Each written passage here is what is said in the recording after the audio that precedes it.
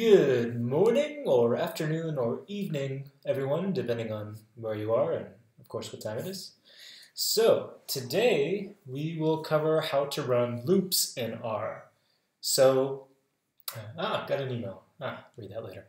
So, in many analysis tasks, you're going to want to perform some calculation or procedure multiple times and perhaps over one or more index variables.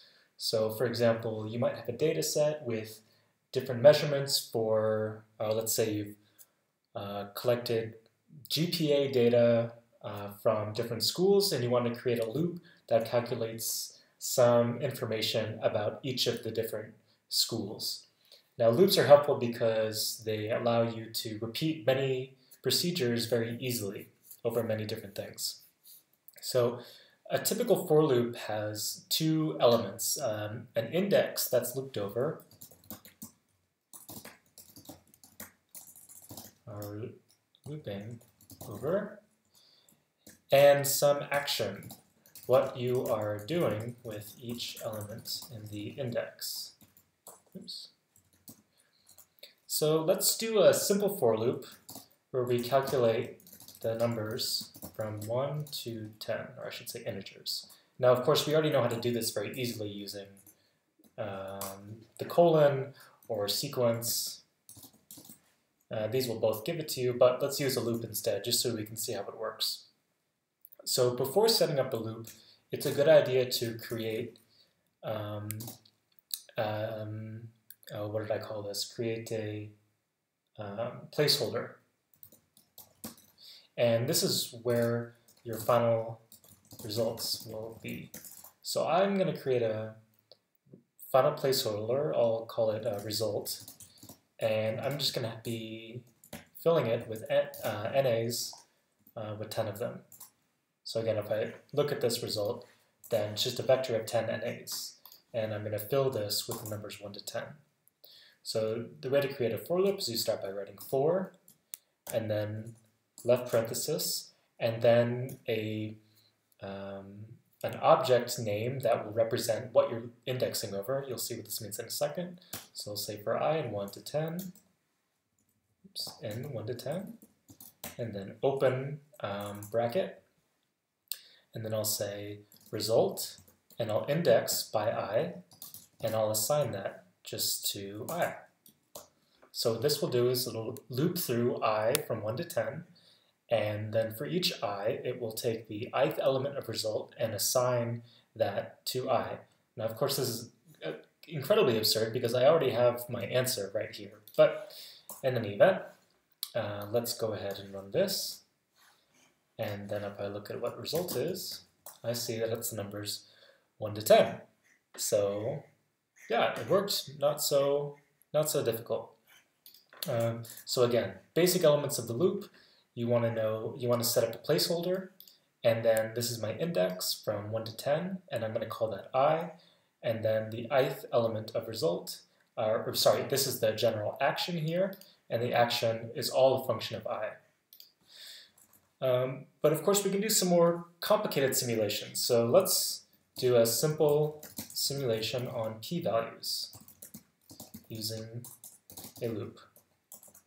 So we know from our definition of p-values that a p-value is the probability of getting a certain test statistic given that the null hypothesis is true. So this is what we're told all the time. Let's make sure that's really correct. So the way I'm going to do this is I'm going to create a simulation where I draw uh, 10 samples from a standard normal distribution. And of course, for a standard normal distribution, the null hypothesis is true, so it's a normal with mean 10 and standard deviation 1.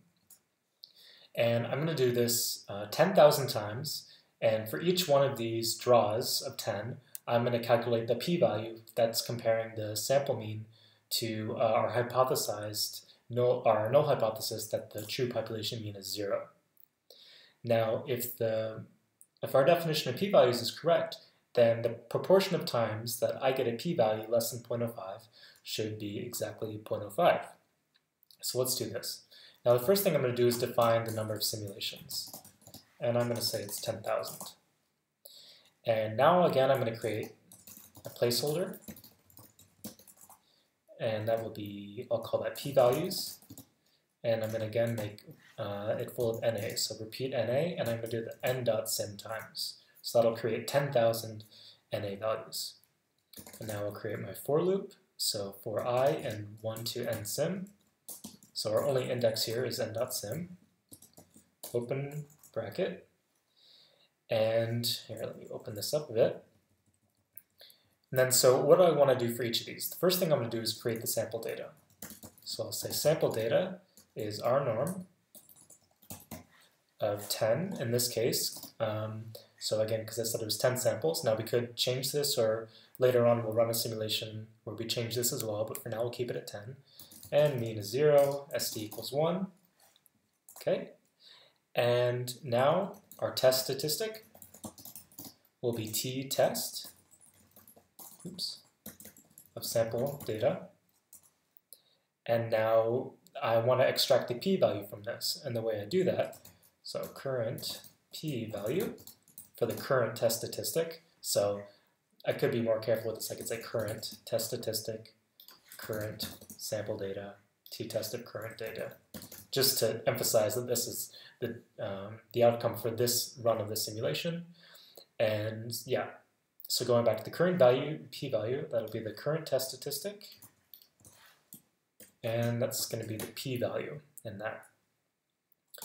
Now, once I've got the p-value, I can assign that to our placeholder. So p-values, and I'm going to index it on i, and I will load the current p-value to this.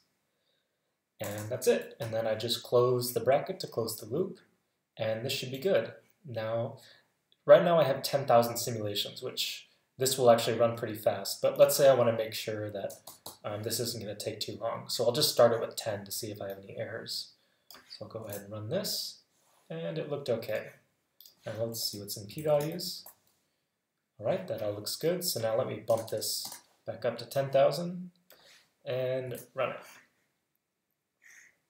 Okay, so now what I'm going to do uh, to look at the results is first I'm going to create a new vector called p-values less than 05 and I'm going to assign this to our original p-values data uh, vector but now I'm just going to create a logical vector where I say whether or not it's less than or equal to 0.05.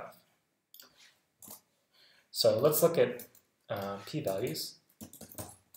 You see we have these p-values, and let's see what it, the, uh, the logical vector does. So it says for each one of these p-values, is it less than or equal to 0.05? And we can see that's true for the first one, but for all the rest of these, they're all greater, so they're all false. And the final result that I want is the mean of p-values less than 05. So let's run that, and let's see what the result is. And lo and behold, we get 0.0531. So like we predicted, um, the pr probability of getting a p-value less than 0.05, assuming that the null is true, again, we know it's true, because we drew the samples from a normal distribution with mean 10 is indeed 0.05. And if we wanted to, we could actually look at a histogram of the final result. Maybe ask yourself for a question, oh, not at the final result, but at the p-values. And you might ask yourself, what should the histogram of the p-values look like? So from 0 to 1, how likely should it be that the p-values are small, medium, high? Should there be a difference, or should they be all the same? Maybe think for a second about what you expect, and now let's look at it. Oops, I had a, hold on, I had mf row on before. Let me just do this again. Okay, so as you can see, it's pretty much uniform. So under the null hypothesis, we see that all p-values are equally likely. Now there's some random noise here, but if we bumped the simulations up to 10,000, or uh, to more than 10,000, this would be pretty much horizontal. Okay, so that's how we do a simple simulation uh, using one index variable. But frequently we might want to use two index variables. So for example, in this simulation, I just had simulations, that's it. But what if we wanted to repeat the simulation, but we wanted to know is there an effect? There's is there an effect of the sample size on um, the probability of getting a p-value less than 0.05? Maybe someone would think, yeah, with small sample sizes, it's equally likely to get all p, all p-values.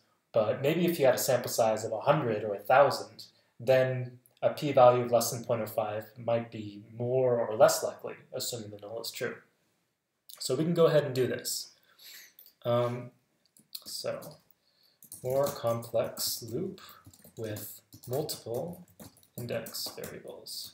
Because I'm a bit OCD, I don't like that extra space. Ah, okay.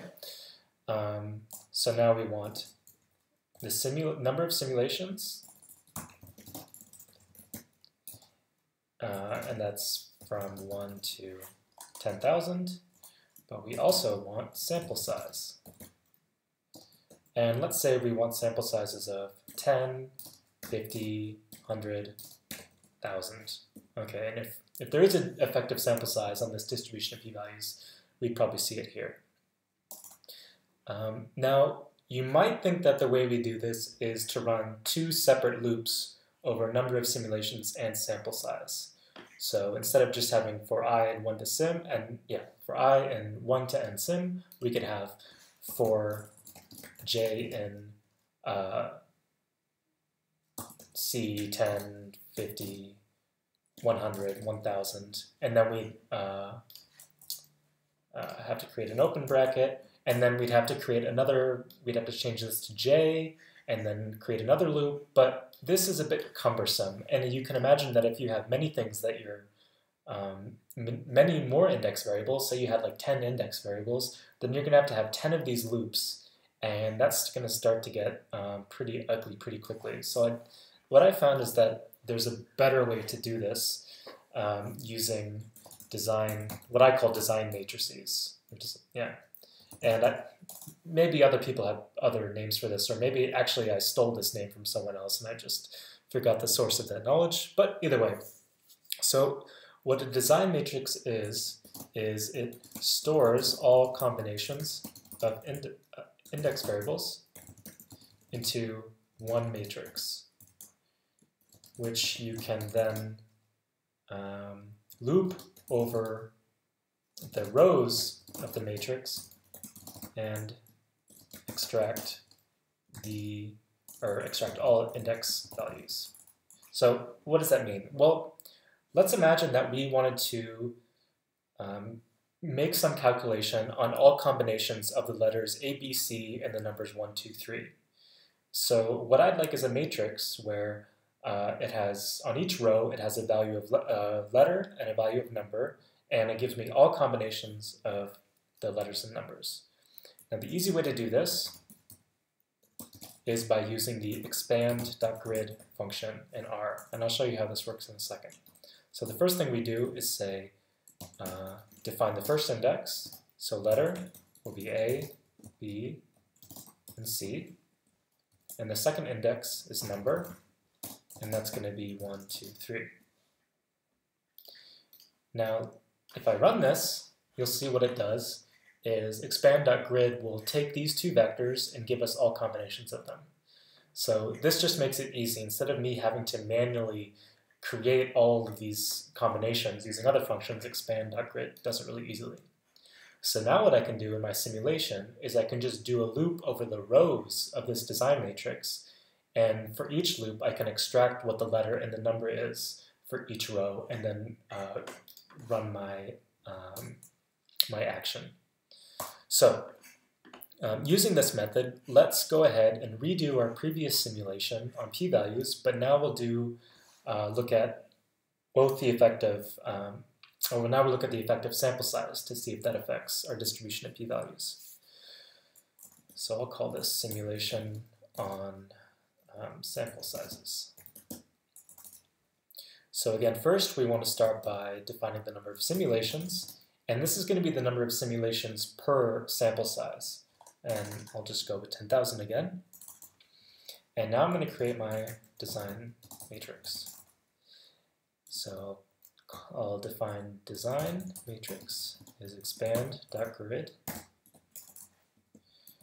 and the first um, column will be sample size.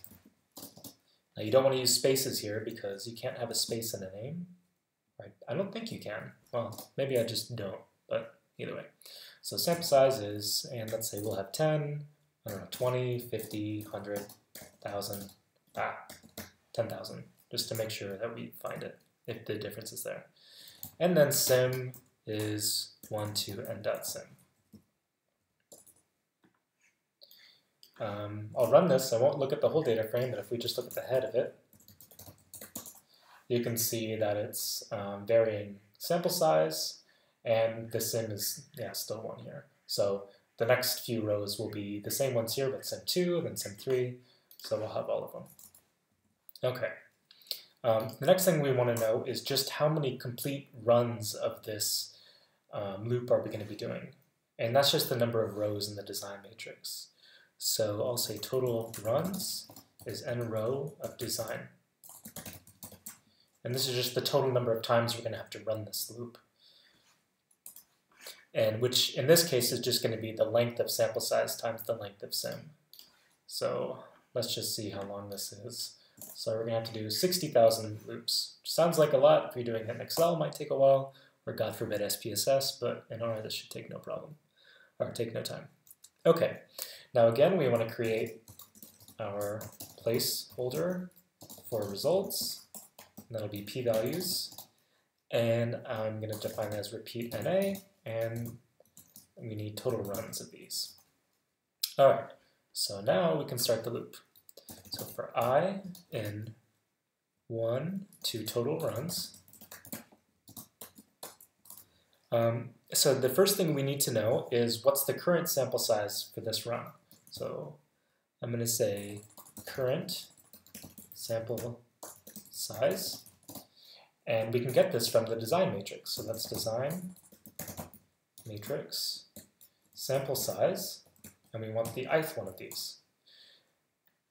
Okay, and next, and we actually don't need to get the simulation number because the simulation number doesn't isn't going to change our simulation. Um, it's the only reason we have this here is so we're going down the matrix. We really we just use this to create um, the expand grid of the full design matrix. We don't really need this number at all. But anyway, uh, so we have our current sample size. So now we can pretty much do the same procedure that we had before. So say current sample data, that's rnorm. But now instead of 10 here, we put current sample size. And a mean is 0. SD is 1. I'll just clean this up a bit. Okay, now we can define the um, current test is t-test of current sample data, then current p value is current test p value. And just to, if you're not used to this function, um, let me do a quick example here. So test of a t-test r norm 100. And you can see if I look at the names of test, then these are all the outputs, um, or all the elements of this um, test object.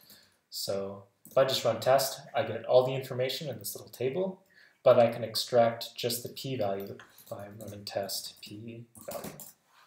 So this is the only value that I want in my simulation. Okay, so I get current p-value, and next I'm going to update our p-values placeholder. I, again, this was our placeholder, which was going to have all of our final results and I'm going to assign the current p value there. And that should complete our simulation.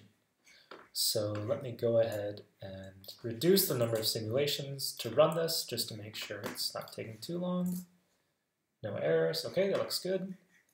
Um, let's look at head of p-values, just to make sure it's looking okay. Yep, looks good. So let's bump this up to 10,000. And it's going to take a little bit of time because we're doing 60,000 of these. While we're waiting, other people probably can think of ways to speed up a lot of this code, but uh, let's just do it this way because I think it's a bit clearer. Looks like it's still running. Oh, maybe 10,000 was a bit too much. Um, Okay, good, finished. So next what I want to do is I want to update the design matrix with the results of the simulation. So I'll create a new column in design matrix. I'll call it p-value, and I'll assign this the p-values. So again, this was the result vector, and I'm going to put that in the design matrix. And the next thing I want to do is define um, which p-values are less than or equal to 0.05. So I can do that by saying design matrix p-value less than 0.05, and that will be p-values less than or equal to 0.05. So if I look at this vector, you can see that I've converted, just like I did before, um, the, p, uh, the exact p-value is an logical into a logical indicator saying whether it's less or equal to 0.05. Okay, and that should do it. Now to look at the final result, um, again, I want to aggregate this on each of the um, sample sizes. So I can do that by using tapply. So I'll say final result is with design matrix t apply, p-value less than 0.5 and the index, oh, can't forget the comma, and the index will be sample size, and I want the mean. Uh, if you're not familiar with the t-apply function, um, you can look up the help menu on that. But it's just a way to apply a function, in this case mean, to a variable based on different values of an index variable. Let's go ahead and run this. Okay, it didn't like that. What did I do wrong? Did I just not run this yet? Maybe? Let's try this again. Okay, now it works. I just hadn't run this command yet. So let's look at final result. Okay, so now we have our one, two, three, four, five, six different sample sizes and our proportion of the times that the p-value is less than 0.05. And this looks pretty much the same across all sample sizes. So looks like the number of samples you take does not affect the interpretation of the p-value. Okay, so the main point of this more complex simulation was the design matrix. So again, I highly recommend doing this instead of trying to run multiple uh, um, uh, loops over multiple different index variables. Just do a single loop over a design matrix and then get the specific variables you want using indexing, like I did here on sample size. Um, so these loops were for running calculations of simulations, but you can do loops to do other things that you're interested in. So for example, um, you can use loops to generate multiple plots. So let's say that you had um, calculated some data uh, or collected data from an experiment where you had collected response time data from many different participants. So for example, let's say there were 100 questions and you had uh, nine participants give some responses to those 100 questions and you recorded the response time for each person. So we have nine subjects, or uh, I should say participants, and each answered 100 problems, and you have response time data for each. And let's say you want to create a histogram for each participant. And you want to do this using a loop, so you don't have to uh, write the code for each participant. Okay, um, now before actually showing you how to calculate or create the, all the histograms, uh, I'm going to use a loop to actually generate the response time data. And here's how I'm going to do this. Uh, so first, I'm going to create um, the design matrix, so response times, and just like before, expand.grid. And I'll have participant as one um, index. Oops. It's response time. So that's going to be 1 to 9 and I'll have the response be uh, just a bunch of NAs. So this is, um, I'm going to fill this response later with values, but for now I just want um, each participant and that combined with each level of response, which is just um, 100 NAs. So if I look at the head of response times, then I get all the participants and um, their responses. Actually, yeah, this is, actually maybe I'll call this, no, I'll call this question, sorry. This is a better way to do it. And I'll call this 1 to 100.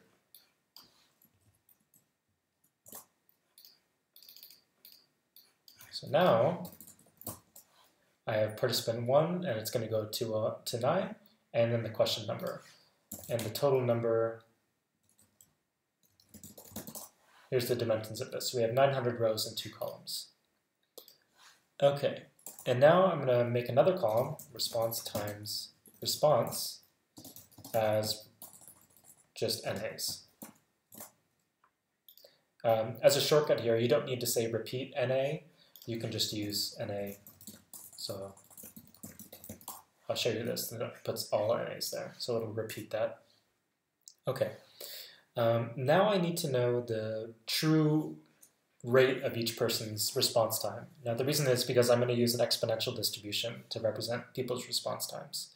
Um, this will make sense in a minute, but first let's say the true rates are, I'll just take e, runif. Um, I need 9 of these from 0 to 1. So if we look at these values, this will be the true um, uh, rate, uh, mean response rate of, or sorry, not the mean response rate, but the each person's yeah true rate of response. Okay, so now I'll create a, our my loop. So for i and one, two, or so now I should say um, n runs is n row response times. Now for i and 1 to n runs, now I define my action. So first I say that the current participant is response times participant i, and the current response rate is response times, or nope, that's not what I want. I want um, the true rates and um, current participant. So just to show you how this works, so for example, I have two rates here. If I'm the current participant is participant 3, then it's going to give me the third um, index of true rates, which would be 1, 2, 3. So it would give me 0.04.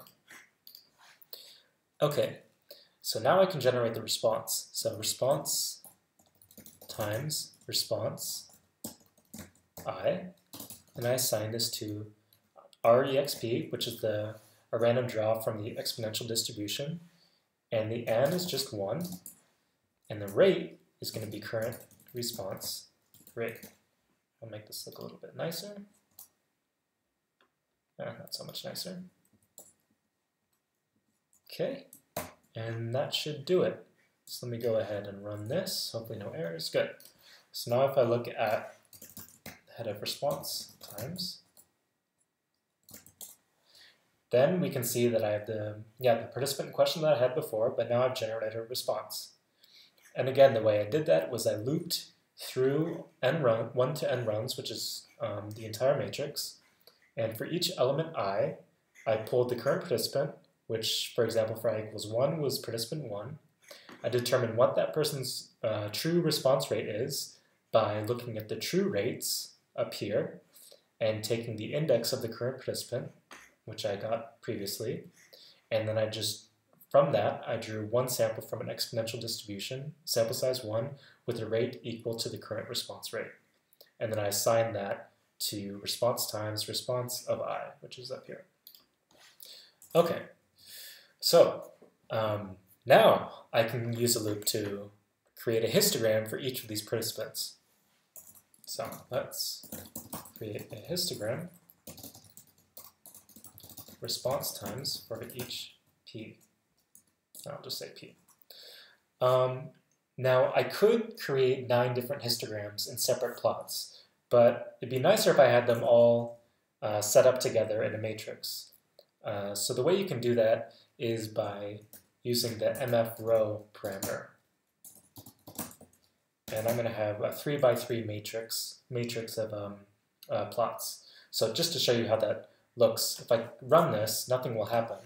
But then if I create a bunch of plots, for example, plot number 1, you can see that it's just created a 3 by 3 plotting region. So the first plot I run will put it on the top left. If I run it again, the next plot will show up here. I run it again, and I can run this nine times, and it will fill up the plotting region.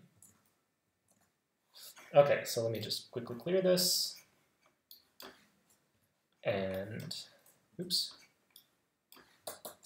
rerun the par mfrow. I don't even know if I need to rerun it, but I'm a bit superstitious.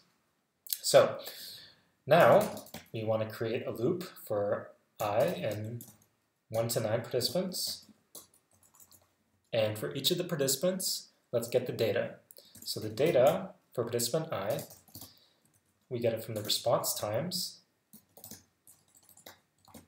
Response time. Yeah, probably a bad idea to include a variable name that looks almost exactly like the name of the data frame, but oh well, that's how I did it. Um, and I just want the response times where response time, oh god, this was really stupid of me to name it like this. Participant equals i.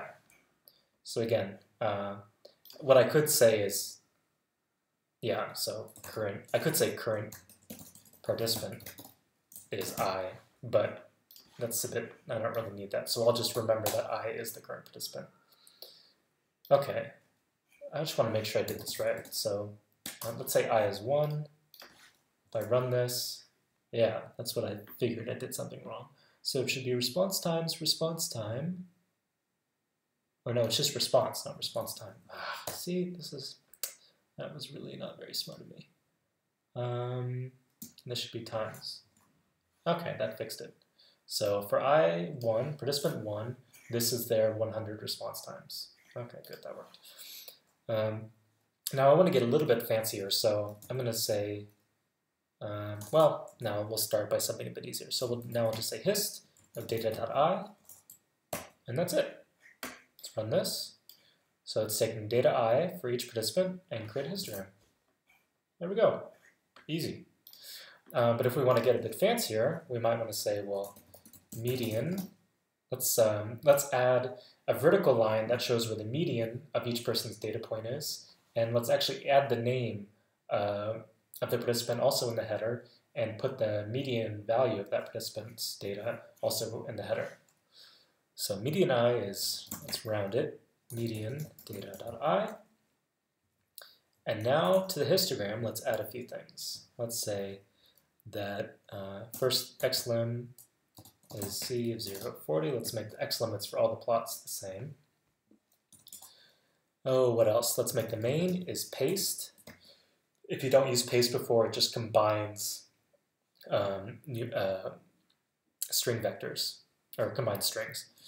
Participant space i, and then this um, that slash n, this creates um, another row. You'll see what this does in a second. Uh, median equals median.i, and then I have to add sep equals none. Uh, if you don't quite understand how that works, um, you'll just have to look at the help menu for paste, but you'll see how it works in a minute. Okay, comma, uh, I'll make this a little bit bigger so we can actually see what we're doing. And that's it. And the second thing I want to do is add a vertical red line for each plot that shows the median. I can do that using abline. v equals median.i, uh, color equals red, and let's make it thick. Um, uh, LWD is 3. Think that's all that I want. Do I have an extra? No? Okay, let's see if this works. So I'll run this. Hey, doesn't look too bad. So uh, we can see for each graph now, we have the participant's uh, number in the header and their median value. Again, the way I got it to have the median one line below participant was by including this slash n. Uh, we have a red vertical line for the median on each person.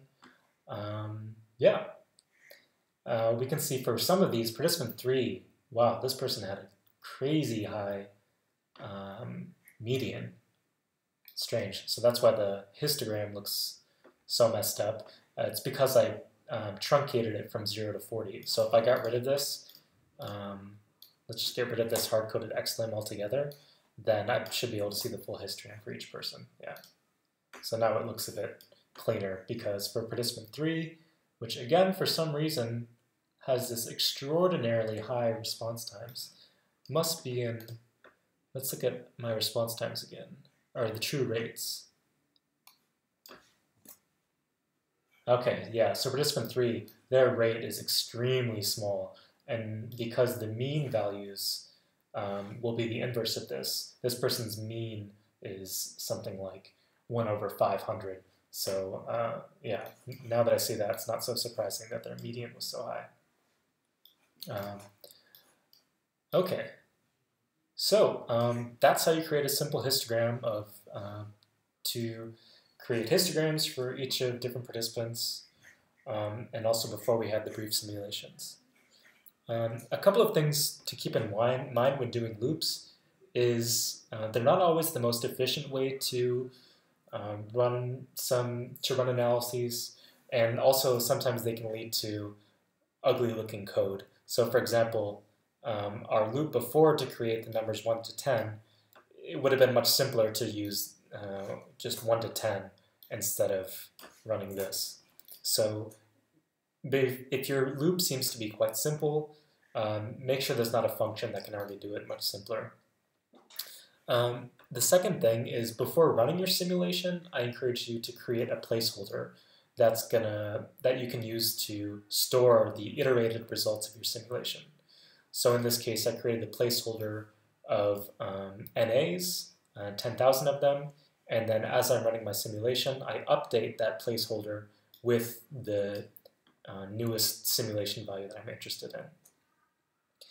Uh, and again, if you have multiple index variables, instead of running multiple loops, I encourage you to create a design matrix that has all the combinations of your indices that you're interested in. Uh, let's move down to this one. And then um, instead of running two loops, just run one loop over the rows of your design matrix. And then for each one of these loops, you can extract the specific values of your index variables that you're interested in. Uh, for me, this is just a much uh, more, much easier to see way of uh, running loops over multiple indices rather than running uh, multiple different uh, loops. and the last thing is, if your loop is taking a long time to run, it might be a good idea to include some code in your loop that outputs um, how far along things are going. So for example, let's Let's look at this one. This one took us a little while. So I could add uh, print, um, let's print a message, I, out of, um, how many total simulations were there in this one? Uh, total runs. Uh, set is nothing. Okay, so let's run this again. And now, when I run this simulation, it's going to, for each iteration, print out what the current iteration is and add up the total. And it didn't like something I did here. Um, invalid digits argument print. Aha, I shouldn't have closed that. So if I run this, now it looks good. Okay, so let's rerun this. And we see that it's printing out each value. Um, so now at least I know if I'm waiting a while that it actually is making progress on this and that there's not some infinite loop that it's stuck in during the process. And if you want to get a bit fancier with this, you can tell it to only print out the value if, for example, the current iteration is a multiple of 1,000. So now instead of uh, printing out every single one, it'll only print out 1,000, 2,000, 3,000. Um, that's a little bit nicer way to do it than having it print out each iteration. So yeah, that's how you do some simple um, loops in R.